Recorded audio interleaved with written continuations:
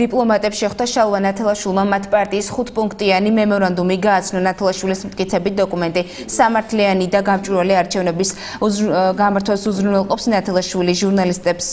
იმასაც უცხადებს რომ მის მიმართ ქართულ ტელესივრცეში ცენზურაა დაწესებული. არჩევნები უნდა გახდეს სავალდებულო. საარჩევნო კომისიებში უნდა იყოს სრული თანასწორობა. პრეზიდენტობის კანდიდატებს და პარტიებს საჭიროა შეექმნათ ასევე აბსოლუტურად თანაბარი პირობები დაფინანსების რეკლამის ტელეგაშუქების დარგში უნდა შეიქმნას მექანიზმები, რათა ხელახლა იქნას დალუქული ბიულეტინები გადათვლილი თუ საჭირო გახდა, ასევე აუცილებელია ფორმირდეს სააპელაციო საერთაშორისო კომისია. უზენაეს